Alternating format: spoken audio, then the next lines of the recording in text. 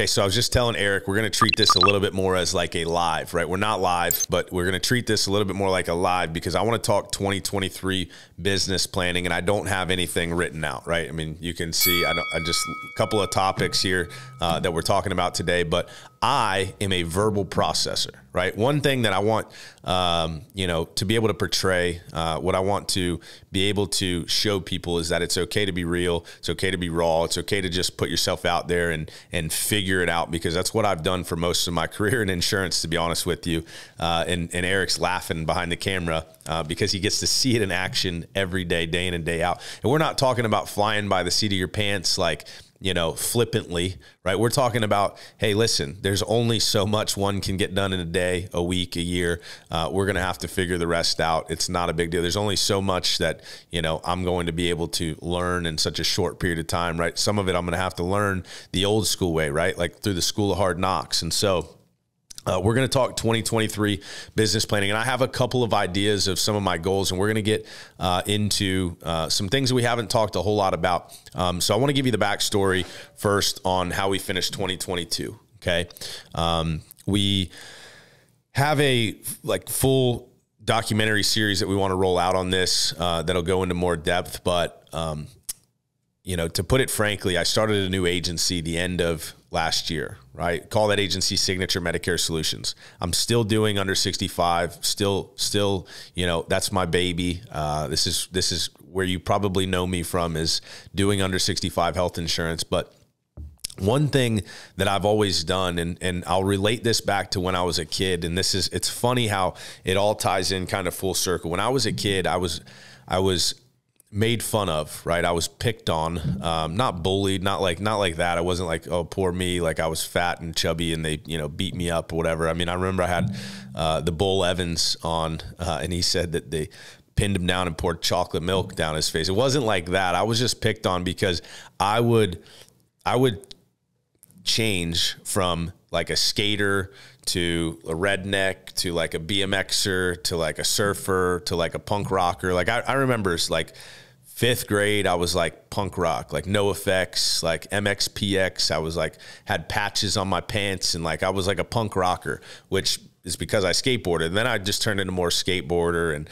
redneck. But I, these are labels that like other people placed on me. These aren't. This isn't me describing my, uh, you, know, like what I was trying or attempting to be. This is just me, right? I was just just unique in, in the sense that I didn't really care. I didn't really want to fit into one box. And so, um, you know, full circle when it comes to insurance, I've known from day one and, and really like from the beginning that I wasn't going to just fit into one box. Like I wasn't going to just do one thing uh, and do one thing only. Now I do believe going all in on one thing, and that's why I spent the last better part of the last five six years, you know, building out under 65, focused on just that market, not doing a whole lot of life insurance, not doing a whole lot of Medicare.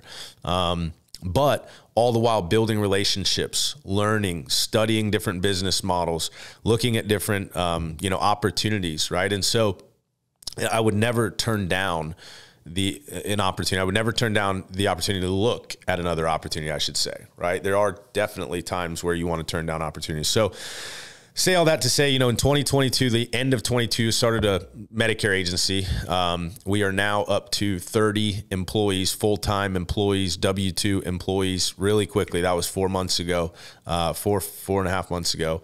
And uh, we're up to 30 employees. We finished 2022 with almost 2000 apps. I'll save some of the uh, you know the fun and the secrets for the docu series hopefully you guys check that out. Honestly drop a comment if you've watched to this point and, and you've heard that and you're like wow that's cool. I want to hear how that happened because i want to share with you how that happened. So 2022 started this agency, you know, still growing uh, on the under 65 side, but that's just you know to share with you where my mindset is going to be for 2023 or kind of is now and, in the things i'm thinking about. So one of the things we're up to 30 employees and the breakdown of that is 20 in office agents. So right here in sarasota uh, we have an office downtown. We have 20 agents in the office and we have 10 agents in uh, 10 agents remote okay we uh, we had an opportunity to start the remote thing we didn't plan on doing it as early as we we have and um, you know we're having a lot of success with it so we're excited to, to see that side grow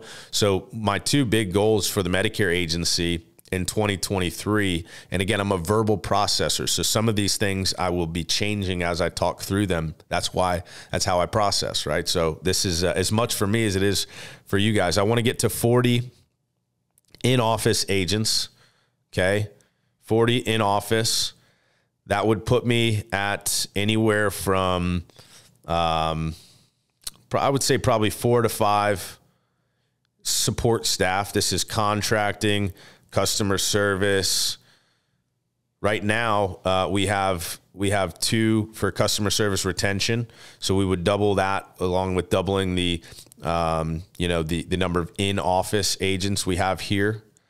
Okay, so uh, four to five support and retention. We're at 10 remote agents now. I would like to be to 50 remote agents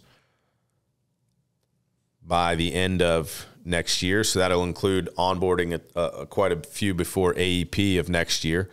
So we'll be at 40 in office, four to five support, and then 50 remote, which technically uh, we should probably be more like eight to 10 support. So we'll say uh, we'll say eight to 10.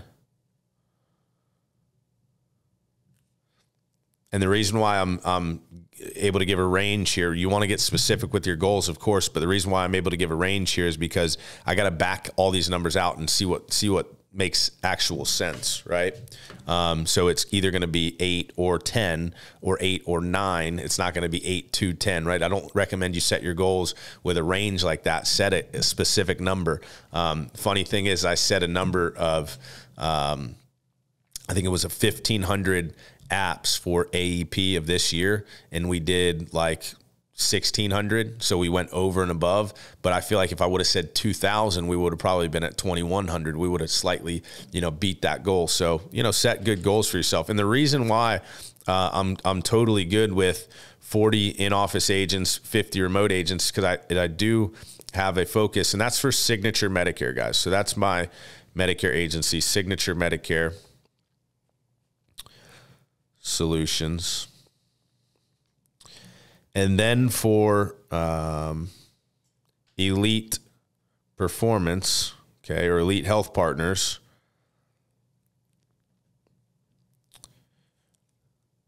I would like to grow that too. We're we're at about right now. We've we've definitely um, we've definitely kind of condensed. Right, we've got kind of our our we stopped recruiting to that agency. I haven't onboarded an agent in a, a little while. You know, we've got kind of our core team. Um, so our core team is probably 15 to 20 core agents right now. Uh, I'd like to get that to 50 agents again okay back up to 50 agents. I'd like to and these are these are agents these are not agents that have just a contract or two right? We do have uh, the ability to you know contract for a few different carriers and things like that. Just uh, these are like full all in 100% contracted with us and all in on our vision and goal.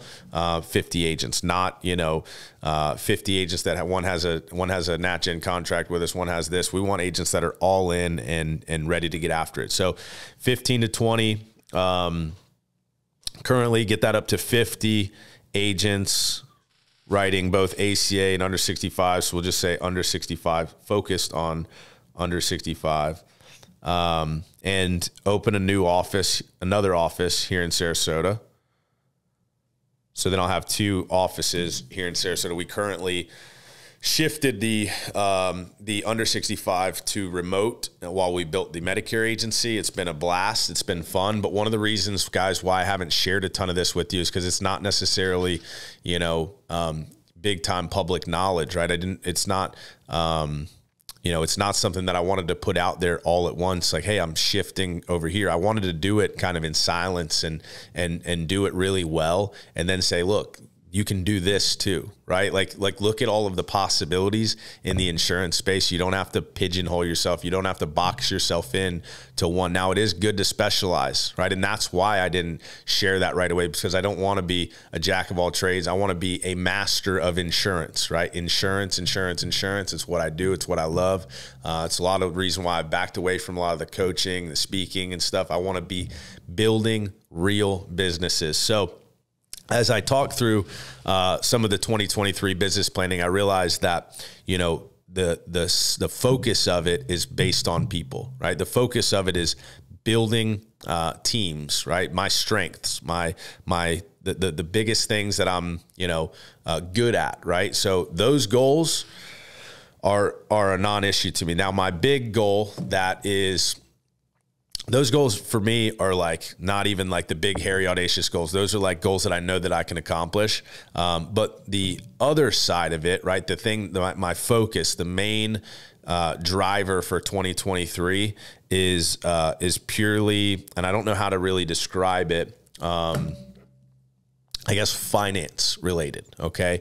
Um, one of my biggest goals, I hired a CFO right? Somebody that knows finance, that knows business, that knows P and Ls, um, balance sheets, you know, all, all of these uh, terminology, ter- all of this terminology that I'm not has not been my strong suit, and uh, and that I want to learn. And so my goal for 2023 is to master uh, the finance of business. Okay, that's one of the fun things of the call center with W two employees, and you know, um, and and an inbound model. It's it's just a it's a different business where I can literally look at the financials every day and kind of tell exactly where we're at and see where we're growing and do projections and all of that stuff. So I've hired a CFO uh, that will meet monthly to really hone in on P&Ls, really get a, a good grasp on uh, the financials of business so that I can scale and continue to scale and potentially have an exit down the road, which is the main goal, not for 2023,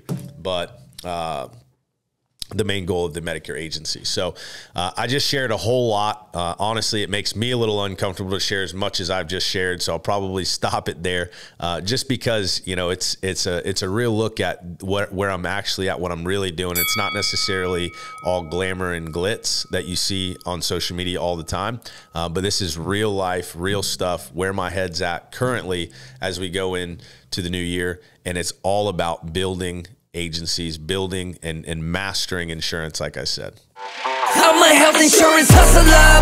Bradley the name. I'm here to teach these agents how to play the game. I'm a health insurance hustler. One thing you should know about me. I'm a health insurance hustler.